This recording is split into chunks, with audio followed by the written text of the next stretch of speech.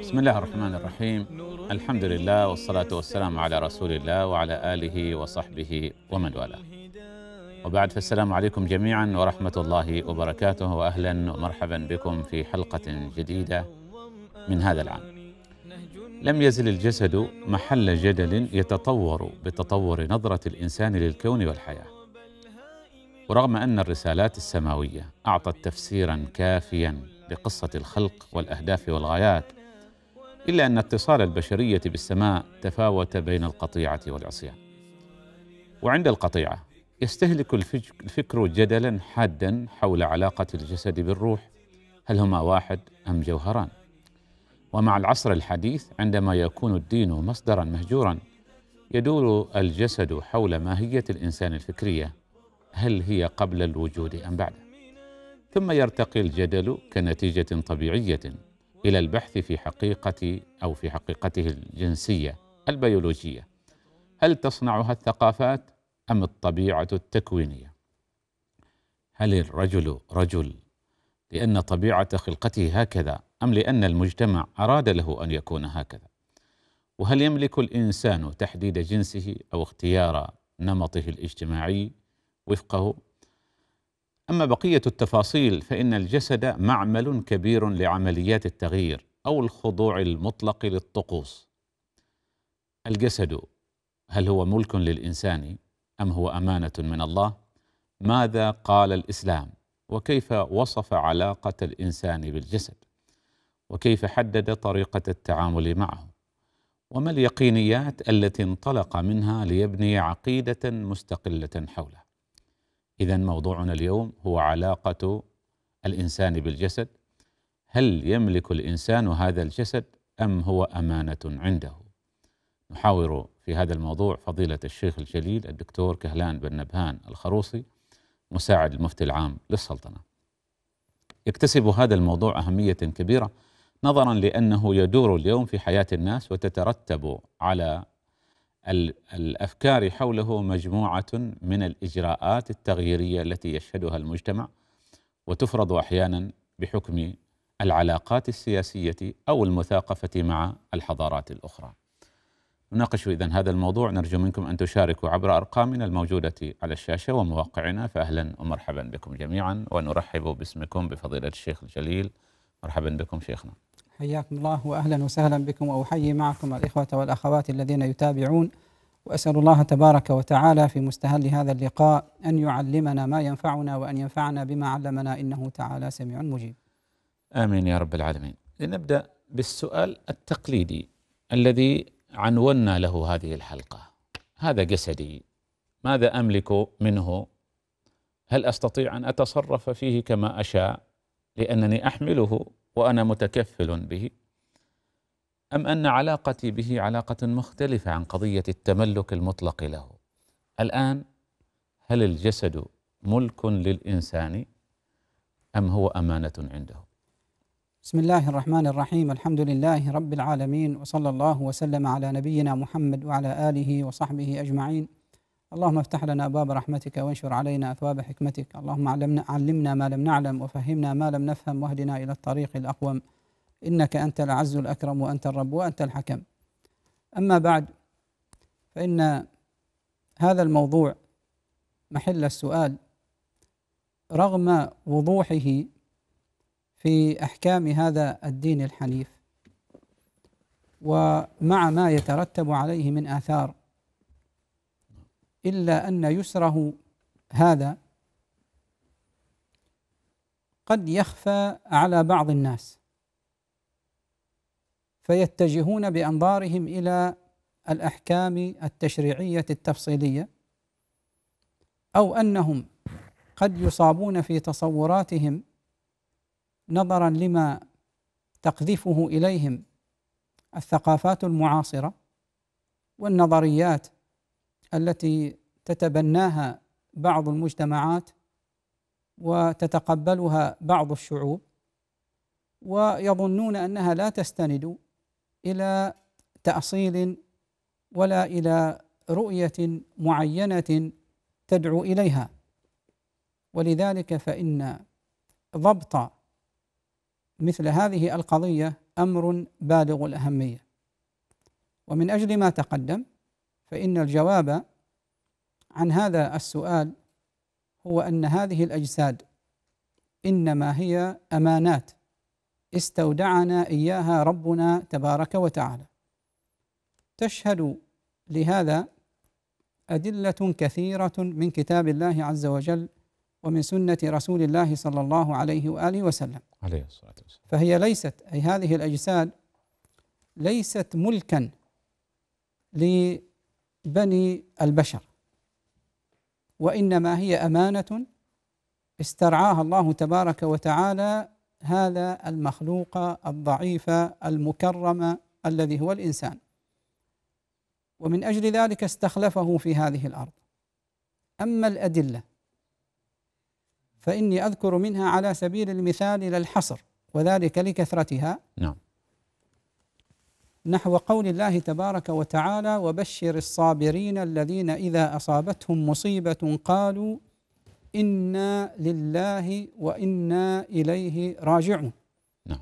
فهذا نص صريح كما يقول علماء التفسير في أن هذه هذه النفوس بأجسادها وأرواحها إنما هي ملك لله تبارك وتعالى فإن اللام في قوله جل وعلا قالوا إنا لله وإنا إليه راجعون تفيد الملك وهو ما صرح به جمهور المفسرين ومنهم من قال بأنها تفيد الاختصاص وهو نوع من الملك الخاص على الصحيح.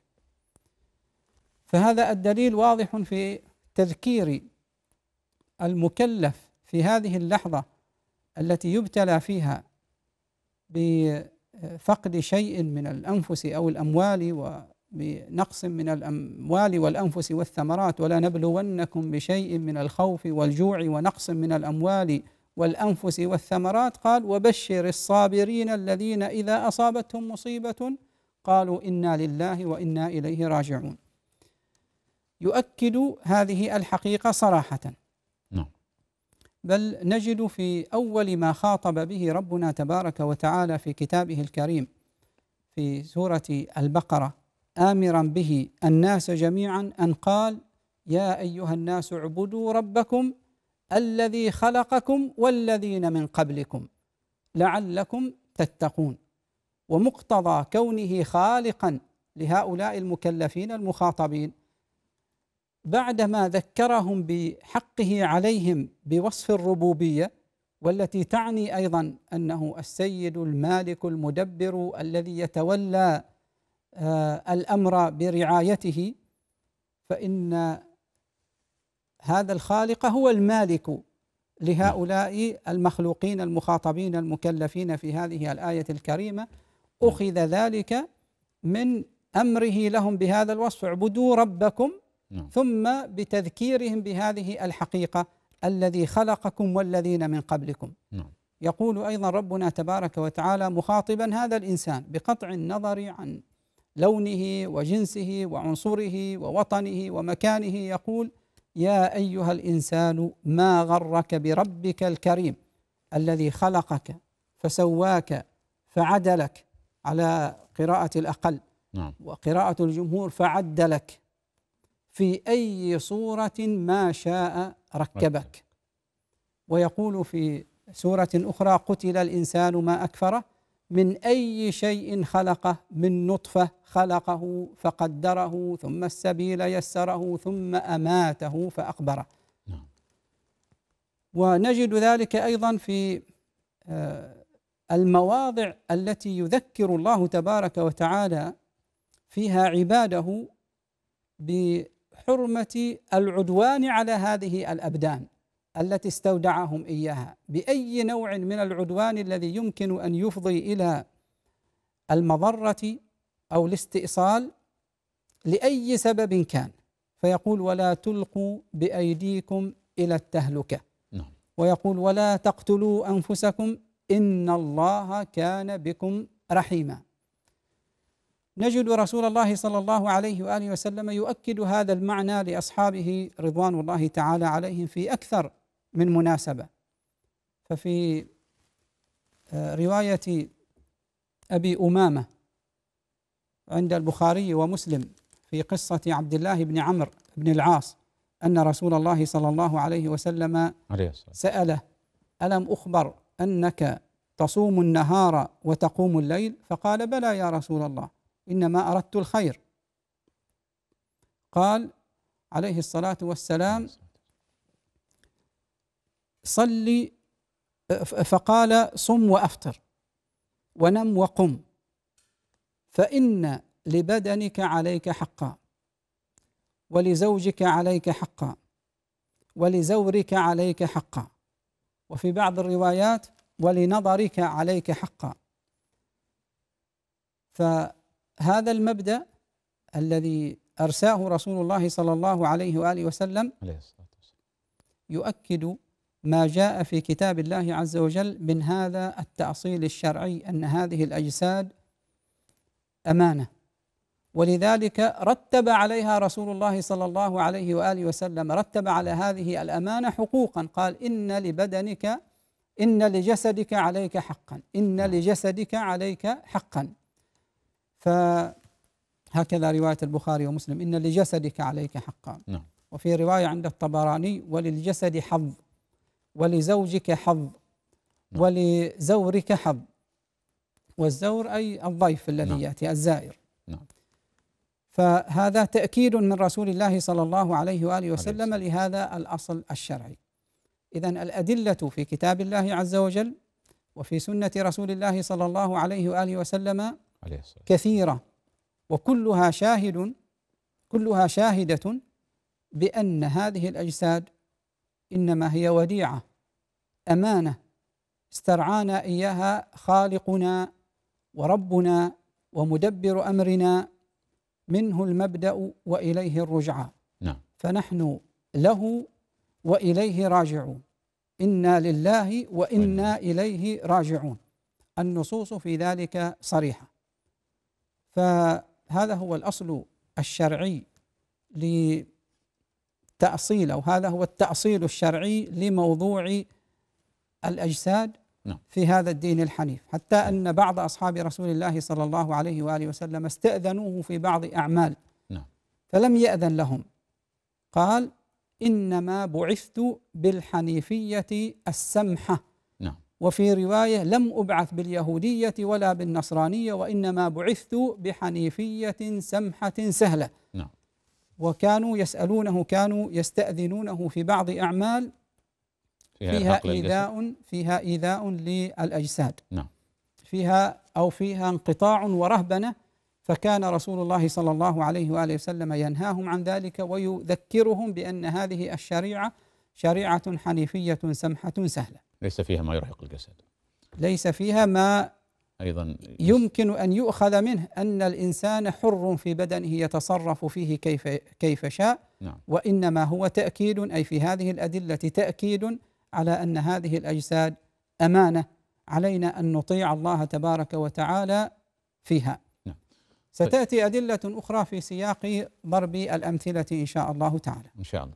إنما يعني نريد أن نناقش ال- يعني مدى آه، علاقة هذه الرؤية والعقيدة الإسلامية بالثقافات والفلسفات آه، آه، الذي ألاحظه أن هناك حرص شديد الآن في هذه الفترة على قضية التأصيل. نحن نفترض أن المسلم لديه وعي كامل بهذه المعاني وأنه فعلا ينظر إلى جسده على أنه أمانة. لكن ما أهمية التأصيل في هذه الفترة بالذات؟ هل المسلم محتاج إليها فعلا؟ هذه قضية مهمة آه، مبعث أهميتها أن كثيرا من الناس يشتغلون بالأحكام الشرعية العملية ويغفلون عن هذا التأصيل الشرعي نعم. وهذا لا يعني أن هذا التأصيل هو التعليل للأحكام الشرعية وإنما هذا التأصيل هو جزء من هذا الدين الذي وصفه رسول الله صلى الله عليه وآله وسلم في أحكامه وتشريعاته بأنه حنيفية سمحاء. نعم. فإذا فهم المسلم المكلف هذا التأصيل سهل عليه بعد ذلك أن يتعامل مع كل ما يعرض له مما يتنافى أو يتعارض.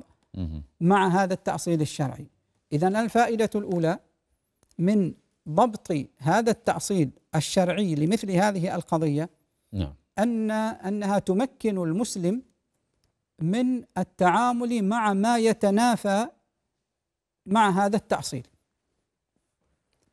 ولذلك فإنه سيمحص ما يدور حوله من حوارات ومناظرات وأطروحات.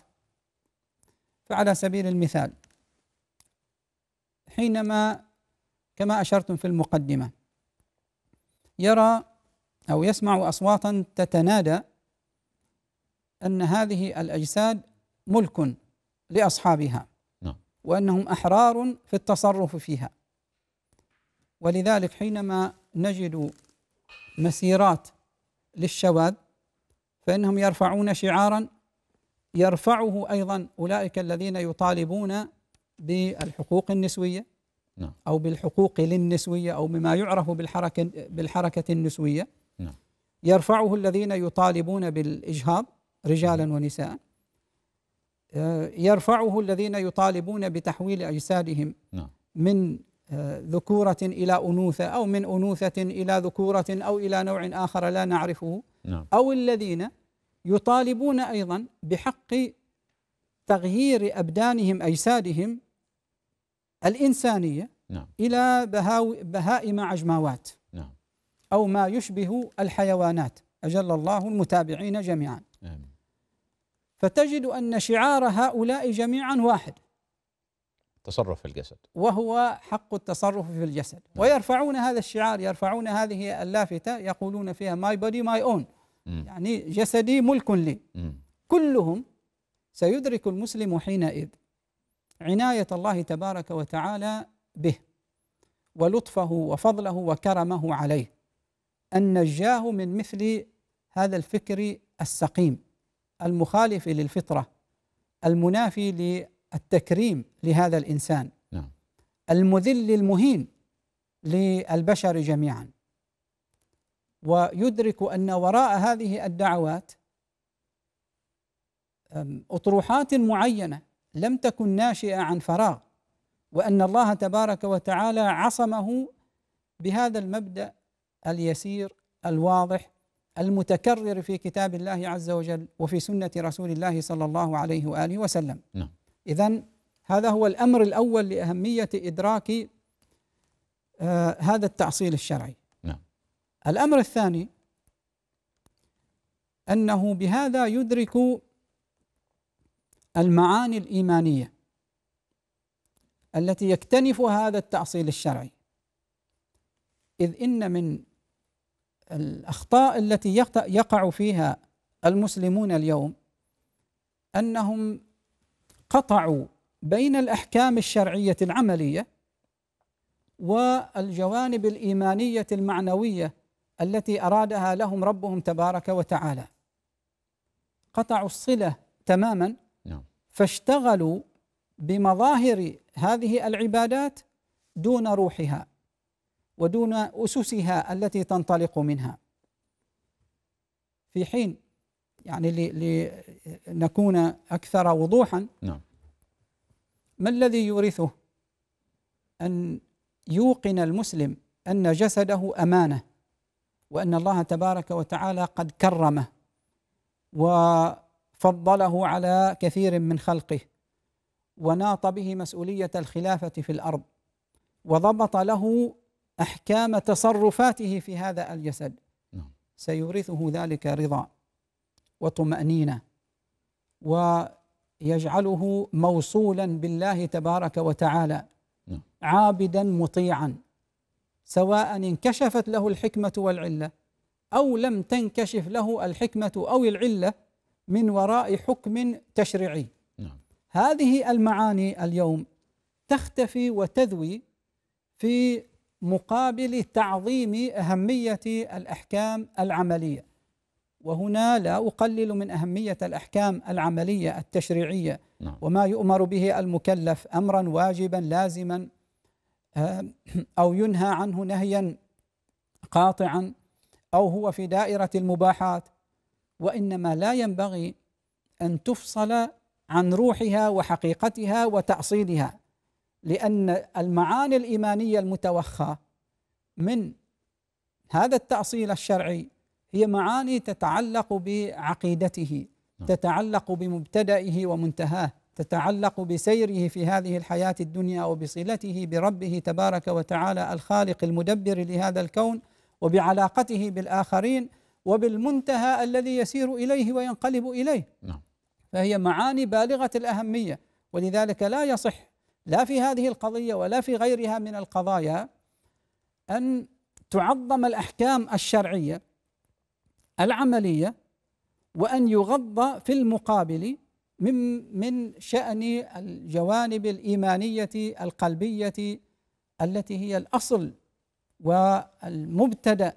نعم. للاستجابة لأمر الله تبارك وتعالى بأداء الأحكام التشريعية نعم. وهذا مضطرد في كثير من الأحكام الشرعية ولذلك حتى في نظر الفقيه حينما يأتي على سبيل المثال إلى بيان الحكم الشرعي في قضية ما نعم. فإنه قد لا ينتبه قد لا ينتبه إلى المعاني الإيمانية فإذا به يؤسس الحكم الشرعي على أمر ظاهري نعم. قد لا يقوى هذا الأمر الظاهري إلى قد لا يقوى على الوصول إلى النتيجة التي يريدها لكن إن التفت إلى الجانب الإيماني ورأى أن ذلك الفعل يتنافى مع أحكام هذا الدين نعم. ومع تأصيلاته الشرعية ومع مقتضيات الإيمان سهل عليه الوصول إلى الحكم الشرعي نعم. إذا هذه هي هذا هو الأثر الثاني أما الأثر الثالث اختصارا نعم تفضل الأثر الثالث هو ما يتعلق بالمكنة من أداء الأحكام الشرعية. هذا يختلف عن الأمر السابق. الأمر السابق يتعلق بالجوانب الإيمانية المعنوية يتعلق بالمفاهيم الكلية التي تصوغ حياة المسلم في صلته بالله تبارك وتعالى وبالكون من حوله وبسائر الناس. لكن هذا الجانب يخصه بنفسه فإنه حينما يتذكر أن الله تبارك وتعالى استودعه هذا الجسد.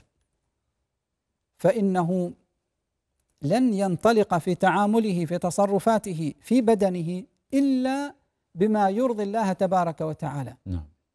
سيحافظ على هذه الأمانة وسيؤدي حق الله تبارك وتعالى فيها وسيلتزم ويمتثل مهما بدا الأمر مهما بدا المأمور به يسيرا أو عظيما.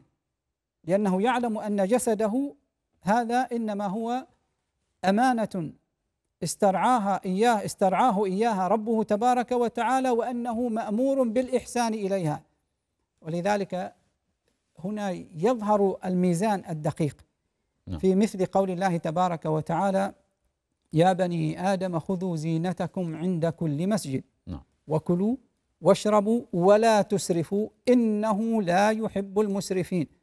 قل من حرم زينة الله التي أخرج لعباده والطيبات من الرزق. سيفهم معنى هذه الآية الكريمة التي هي في الحقيقة ميزان دقيق. يستطيع أن يزن به ما يرى أن البشرية من حوله تائهة حائرة فيه.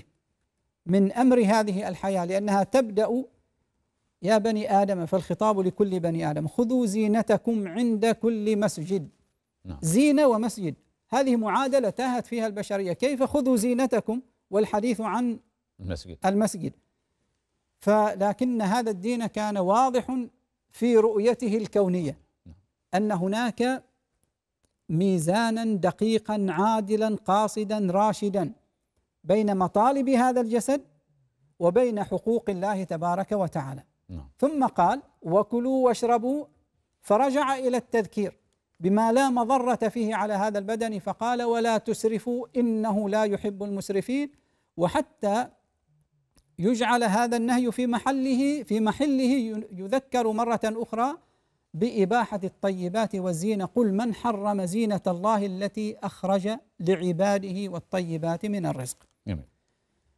الأثر الرابع الذي آه، هو بالغ الأهمية في في التعرف على التأصيل الشرعي يكمن في إدراك هذا الميزان العادل بين مكونات الإنسان من جسد وروح ونفس فهناك ميزان دقيق نعم. يضبط لهذا الإنسان المكلف المخلوق لله تبارك وتعالى مطالب جسده مع مطالب روحه مع مطالب نفسه تحرره من القيود التي فرضتها عليه النظريات المعاصرة الداروينية. أو نظريات فرويد التي شطحت بهذا الإنسان بعيدا عن الكرامة التي أنعم الله عز وجل بها على عباده على بني آدم. لأنه إذا احتج علينا أحد في هذا السياق بأن هناك من النظريات ما تدعو إلى العناية بالجسد. وذكر لنا ما هو قوام النظريات البيولوجية الحيوية اليوم من آه، عند من آه، يتخذ من آه، نظرية داروين. يتخذها منطلقا. منطلقا. فهنا سيسهل علينا أن ندرك الفارق. فذلك شطط العناية بالجسد اليوم على سبيل المثال. ليست مبتوتة في العالم الغربي وفي العالم الملحد أو مم. عند أتباع الليبرالية. تعظيم للجسد لم يشهد له التاريخ مثالا. تعظيم للجسد نعم. حتى في البنية تجد مسابقات لما يعرف بكمال الأجسام نعم مسابقة كمال كمال, الأجسام. الأجسام هؤلاء يعيشون في الحقيقة عيشة قاسية جدا حتى يصلوا إلى هذه الهيئة وهذه البنية الجسمانية مم. في ما يأكلون وفي ما يجتنبون وفي أوقات الأكل وفي أوقات النوم وفي تنفسهم وفي كل حركاتهم وسكناتهم نعم. ما الذي يدعوهم إلى ذلك إلا التأثر بهذه أن البقاء للأقوى للأصلح. نعم. ف وأن الإنسان يملك جسده. لأن الإنسان يملك جسده. وكذا الحال في المقابل إذا أردنا صورة أخرى ما يتعلق بالجمال. نعم. ومسابقات الجمال عند الإناث عند النساء وعند الرجال أيضا. نعم. أيضا هي منطلقة. هي ليست لم نعم. تنشأ من فراغ هي منطلقة من التأثر بهذه النظريات الوضعية فرويد داروين ومن شاكلهم أيضا من الفلاسفة من بعد. نعم. آه، هي ليست مبتوتة عن هذه النظريات.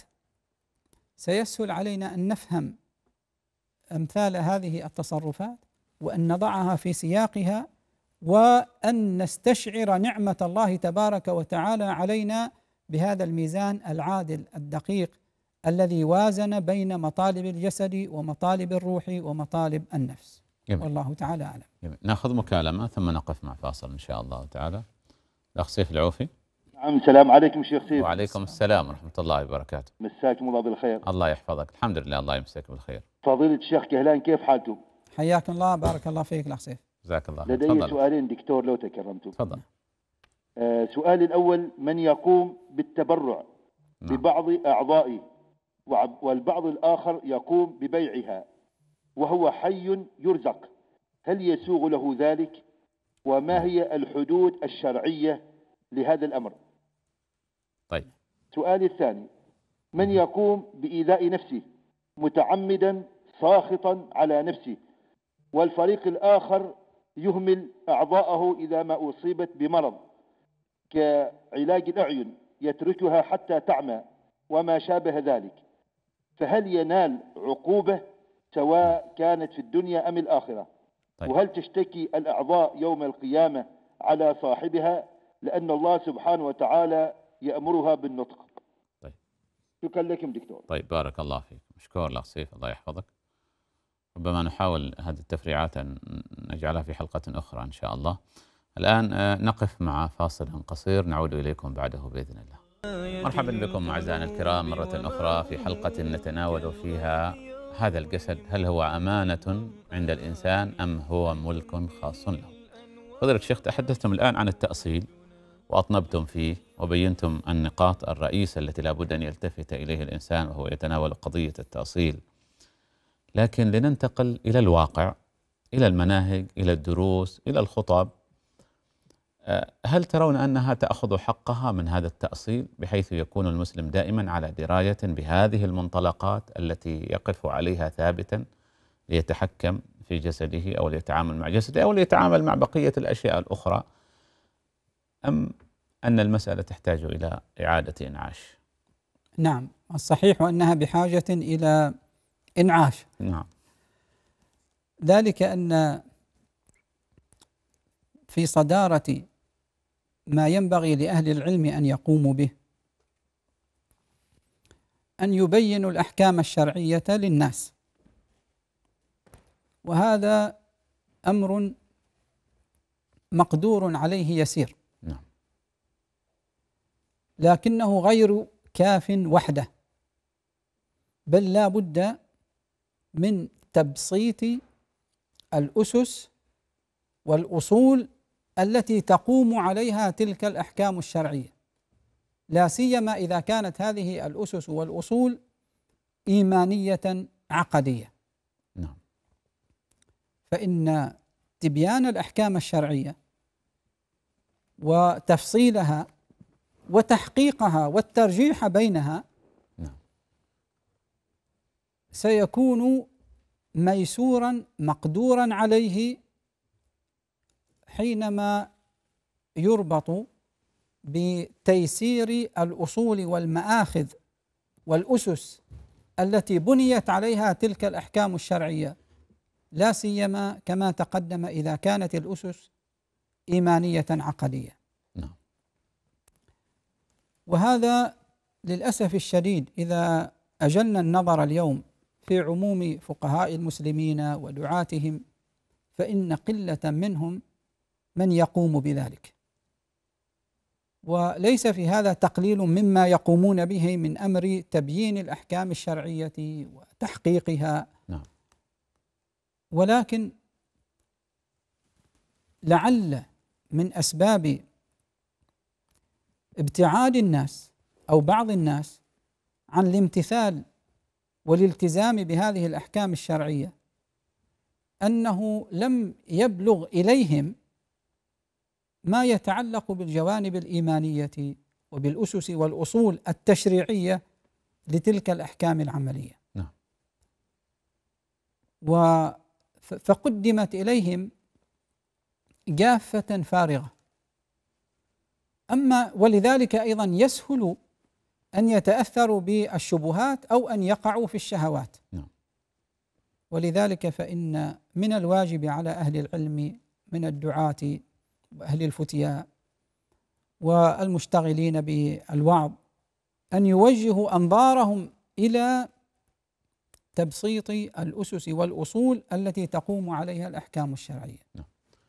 فهذه طيب. المعاني الإيمانية هي أغلى ما يوجه حركة الإنسان في هذه الحياة وإذا غرست غراسا طيبا صحيحا سيسهل على المسلمين من بعد أن يلتزموا بأحكام هذا الدين وأن يأتوا بالأحكام التكليفية المأمور بها والله تعالى أعلم. طيب فضيلة الشيخ الآن يعني شرح مثل هذه الأحكام والغايات والأهداف والمقاصد التي آه، تكون ثاوية في النصوص الشرعية والتي من خلالها يفهم الإنسان علة الحكم أو حكم أو حكمته أو مقصده. نعم.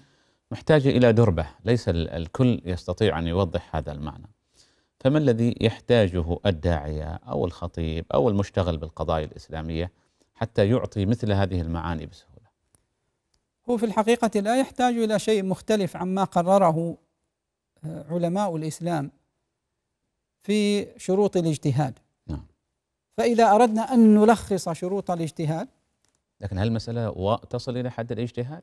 أنا لا شك نعم. لا شك أن هذه يعني إذا كان إذا كانت المهمة التي ذكرتها اولا وهي تبيين الأحكام الشرعية. نعم. وتحقيق هذه الأحكام والترجيح بينها فهذا لا شك أنه يحتاج إلى اجتهاد. نعم. فكذا الحال فيما يتعلق ببيان المعاني الإيمانية نعم. أو الأصول التشريعية التي تبنى عليها تلك الأحكام. جميل. فإذا أردنا أن نلخص. إذا كان المسألة تعود إلى قضايا الاجتهاد أو غيرها سنؤجلها لكن لدينا باختصار. موضوع ملح الإلمام بالواقع نعم بعد الإلمام بالأدلة الشرعية التي يحتاج إليها نعم. الذي يحصل هو أنه يمكن أن يكون هناك إلمام بالأدلة الشرعية فيسلط عليها ملكة ملكته الاجتهادية ليبحث عن الحكم الشرعي لقضية ما نعم. لكن تنزيل تلك القضية في الواقع هو الذي قد يحتاج إليه أكثر. تصور هذا الواقع بما فيه من آه، نظريات وبما فيه من آه، أسس أيضا بنيت عليه أو بني عليه هذا الواقع أو بنيت عليه النظريات نعم. في هذا الواقع آه، لا بد أن يكون حاضرا في ذهن المجتهد. إن لم يكن في ذهن المجتهد فكذا الحال يعني لا يقتصر على المجتهد فقط لكن المجتهد أحوج ما يكون إلى هذا. لكن الداعية والخطيب والواعظ عليه أيضا لأن هذه المعاني الإيمانية واضحة. نعم واضح. في في هذه القضايا وفي هذه الموضوعات التي يتعرض لها والتي يتعرض لها الناس كثيرا في نعم. واقعهم. طيب طيب سؤال نريد إجابة قصيرة أيضا في سطر واحد إن صح التعبير. نعم.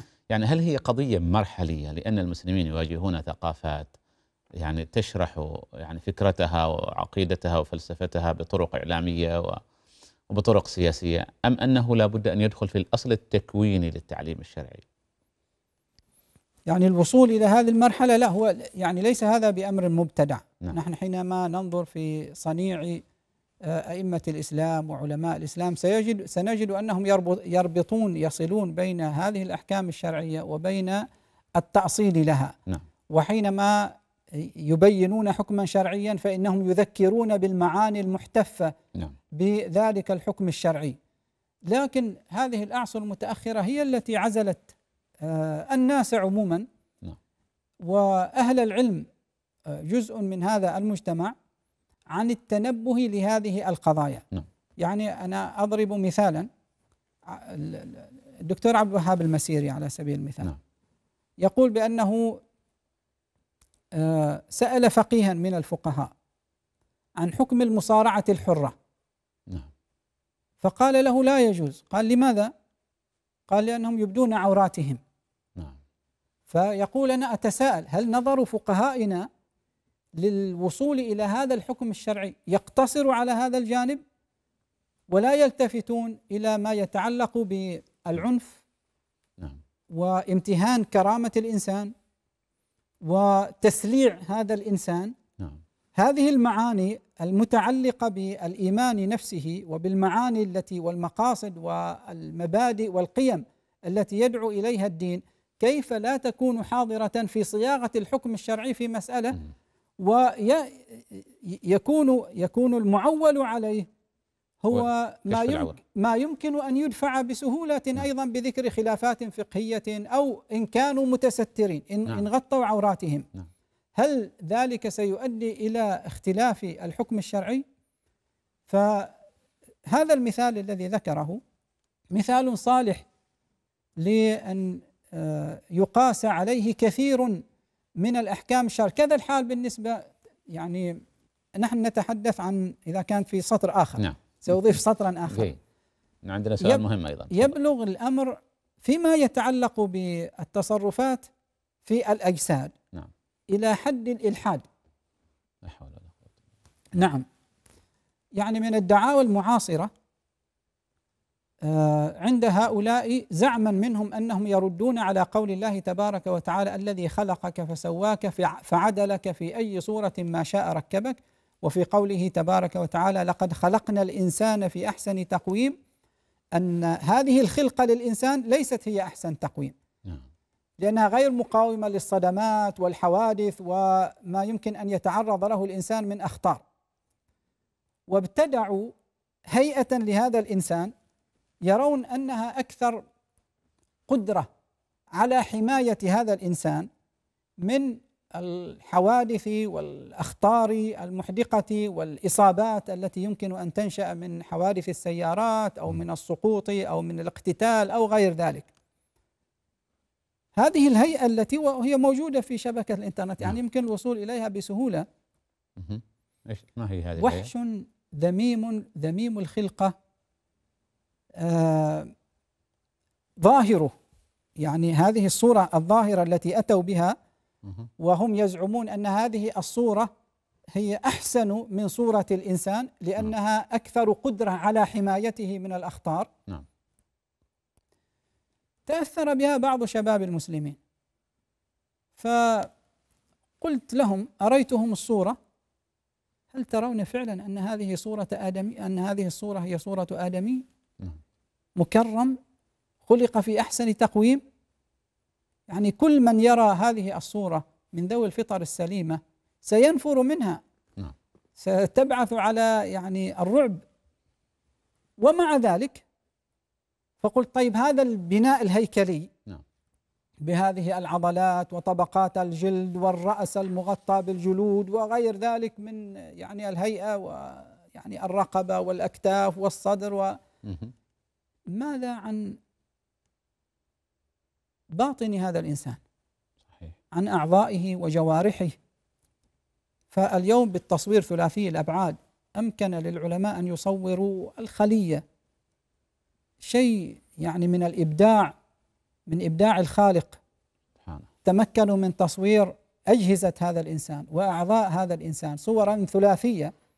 ستجد معنى قول الله تبارك وتعالى الذي خلقك فسواك فعدلك أو فعدلك في أي صورة ما شاء ركبك في أبهى معانيها. نعم.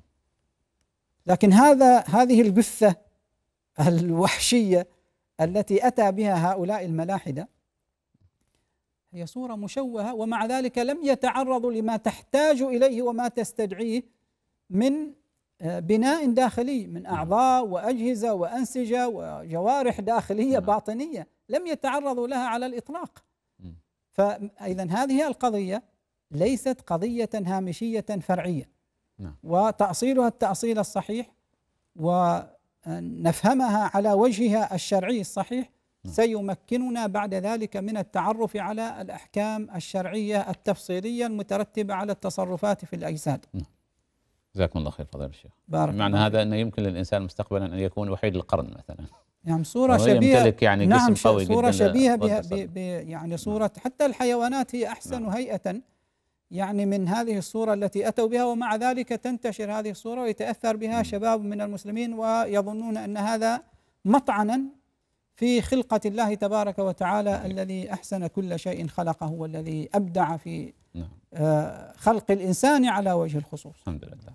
جزاكم الله خير فضيلة الشيخ. كنا. أردنا أن نطرح أيضا يعني مجموعة من الأسئلة المتعلقة بهذا التأصيل ولكن في الحلقة القادمة إن شاء الله تعالى سنستكمل هذا الموضوع وأيضا نطرح مجموعة من يعني التطبيقات العملية التي فعلا نزلت في سوق الإنسان المفتوح الحر هذا. نعم إن شاء الله. والذي أصبح الإنسان يتصرف في من خلالها في جسده تصرفا مطلقا للأسف الشديد. أحسن. شكرا لكم فضيلة الشيخ. جزاكم الله خيرا. أعزائنا نشكر وإياكم فضيلة الشيخ الجليل الدكتور كهلان بن نبهان الخروصي مساعد المفتي العام للسلطنة سلطنة عمان. نشكركم أيضا على آه، متابعتكم ومشاركتكم. نلقاكم في الحلقة القادمة إن شاء الله. والسلام عليكم ورحمة الله وبركاته.